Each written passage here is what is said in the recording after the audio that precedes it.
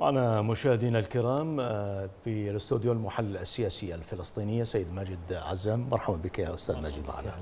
اذا اليوم الثاني تتصاعد وتيرة هذه الغارات الصهيونية على غزة من جيش الاحتلال الصهيوني. كيف تقرأ تصميم الاحتلال على استمرار بهذه الغارات؟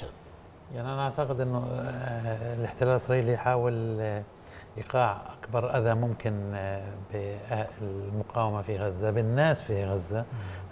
يعني نرى اليوم من استهداف للمباني البنايات السكنية ونرى استهداف لمسؤولين في المقاومة نرى استهداف حتى لمنازل عادية لبنى تحتية في مؤسسات يعني رغم إنه بنى تحتية في غزة بين هلالين لأنه الوضع البنى التحتية تقريبا منهارة وشبه منهارة بعد ثلاث حروب وعدة جولات من التصعيد لم يكن هناك أي إعادة إعمار حقيقية لكن نحاول حاول إسرائيل تريد يعني البطش بالمعنى الحقيقي للكلمة إيقاع أكبر قدر ممكن من الأذى ثم الذهاب أو محاولة الذهاب إلى تفاهمات للتهدئة بظروف أفضل أو من موقع أفضل أو على الأقل يعني يحاول نتنياهو. يعني بنتذكر التصعيد الأخير في أذار قبل الانتخابات نتنياهو حاول إنهاء بسرعة في أقصى مدى زمني ممكن قبل ذلك أيضا في النصف يعني في فترة الانتخابات ثلاث شهور من بداية العام لم تكن لم يكن هناك نية عند نتنياهو للذهاب إلى جولة تصعيد وهو حتى الآن لا يريد الذهاب إلى حرب طبعا كما قال أيضا السيد إسماعيل هنيه لكن هناك محاولة للقول أن نتنياهو لم يكن ضعيف أمام المقاومة وهذا يفسر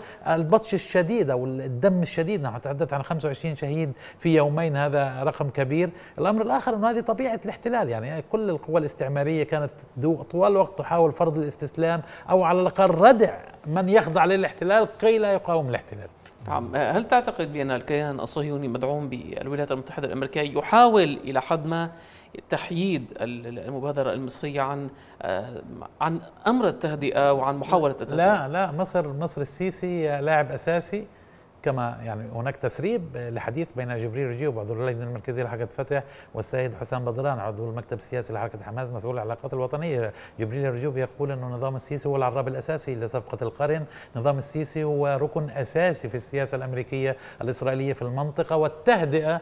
يعني ربما التهدئة صحيح تخدم الناس محاوله تحسين الأحوال لكن بشكل استراتيجي وفي الإطار العام التهدئة تهدف إلى منع انفجار غزة في وجه الاحتلال أو حتى في وجه مصر نفسها. يعني تتمدى يكون هناك توسع باتجاه سيناء لأي قلاقل امنيه أو باتجاه اسرائيل الأمر الآخر عن هو منع, منع غزة من تشكيل خطر على صفقة القرن يعني ابقائها دائما محيدة وإبقاء على الأقل تحت الوصاية المصرية لضمان ألا تكون عامل يعني مهم جدا أو معرقل لصفقة القرن يعني ترى لا اثق يعني واحد من الأمور اللي تجعلني غاضبا يعني مما يثير حنقي.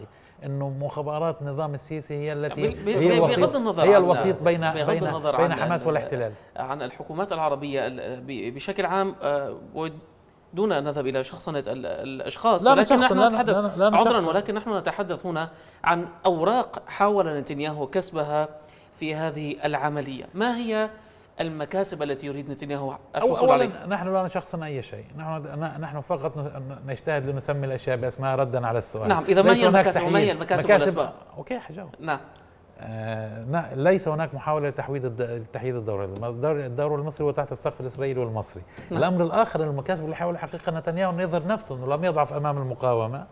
وأنه لم يتهاون أمام المقاومة لم يتهاون فيما معنى أنه الأمن الاسرائيلي ثم الذهاب إلى تهدئة بسقف منخفض. تقريبا للمقاومة مع هذا البطش الشديد بغزة وأهلها ومقاوميها والتوصل إلى تفاهمات أو جلب المقاومة إلى تفاهمات إلى المربع الإسرائيلي أو لكي تخفض سقفه ولكي يحاول هو قدر الإمكان أن يفرض شروط. يعني الشرط الأساسي الإسرائيلي مثلا في مراحل التهدئة الثلاث المرحلة الأولى كانت تتحدث عن فتح المعابر توسيع مساحة الصيد. المرحلة الثانية كانت تتحدث عن مشاريع عن مشاريع تشغيل العشرين مؤقت ل ألف مواطن في قطاع غزة عن عن تحسين كمية الوقود عن إدخال خط كهرباء آخر قطاع غزة بتكلفة من 300 إلى 400 مليون، لكن المرحلة الثالثة يتم الحديث عن إعمار بمليارات الدولارات، في هذه المرحلة يريد نتنياهو فرض فرض شروطه فيما يتعلق بصفقة تبادل الأسرى، يقول له هذا أمر مهم، لن يتم الذهاب إلى تهدئة أو إلى إعمار حقيقي إعادة إعمار حقيقي في غزة دون أن يكون هناك صفقة تبادل وتستعيد إسرائيل جثث أو الجنود الأسرى لدى حركة حماس، يعني كل ما يفعله نتنياهو يريد أن يقول إنه يعني تكتيك كان محاولة تراجعه أو مهادنته قبل الانتخابات والآن هو يبطش لأنه هو مستر أمن في إسرائيل كما يدعي وهو يبطش بالمقاومة يبطش بغزة ويحاول لكن لا يريد الذهاب إلى حرب.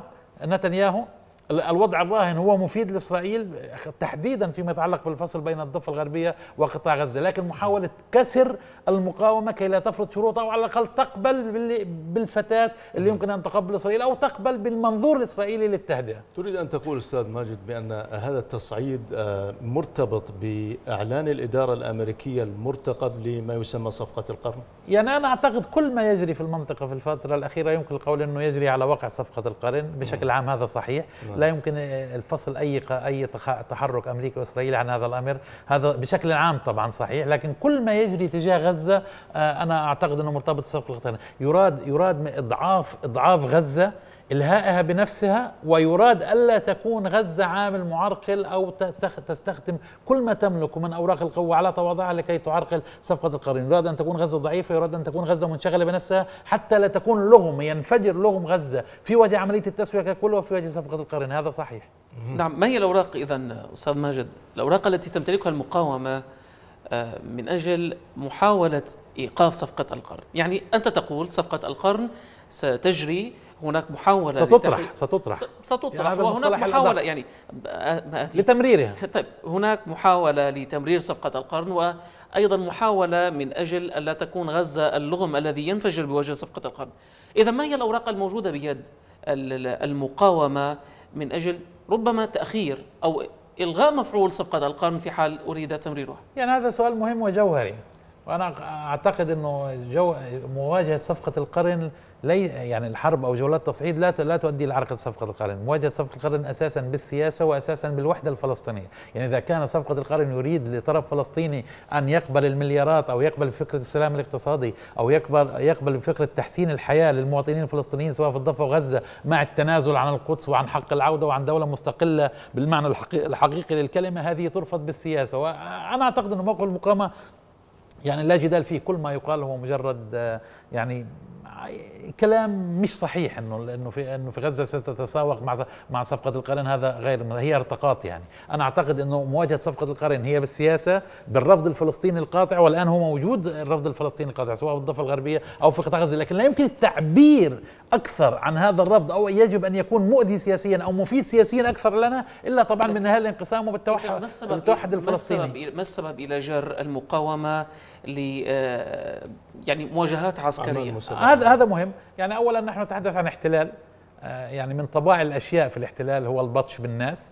من طباع من الأشياء في الاحتلال هو محاولة ردع الناس عن التفكير في مقاومة الاحتلال من آه، طباع الأشياء أنه يريد أن يكسر معنويات الناس لكي لا يتصدوا للاحتلال. لكن الأمر المهم كما قلت هو آه، إلهاء غزة بنفسها إشغال غزة بنفسها إضعاف غزة وإلهاء بنفسها ثم محاولة فرض شروط فيما يتعلق بالتهدئة. لكن نتنياهو لا يريد الذهاب إلى حرب لا يريد الذهاب إلى تسوية سياسية مع غزة وهذا أمر مهم جدا. لكن أقصى ما يمكن الوصول إليه التهدئة بمراحلها الثلاث اللي توصل إليها الوسيط المصري. المصري لكن السقف اللي تطرحه المقاومة فيما يتعلق بالمدى الزمني أو فيما يتعلق بأنها هي يجب أن تكون الحكم أن إسرائيل لا تكون الحكم على التزام الطرف الفلسطيني أو التزام المقاومة. يجب أن يكون هناك وسيط سواء من مصر أو الأمم المتحدة. نعم. ببساطة إسرائيل تحاول أن تحسن شروطها فيما يتعلق بالحوارات مع التهدئة مع المقاومة عبر الوسيط المصري أو عبر الأمم المتحدة. أخيرا كيف يمكن أن تحل هذه الأزمة بتدخلات سياسية فاعلة؟ قبل الأخير لأنه يجب لابد أن نتحدث عن ردود الفعل العربية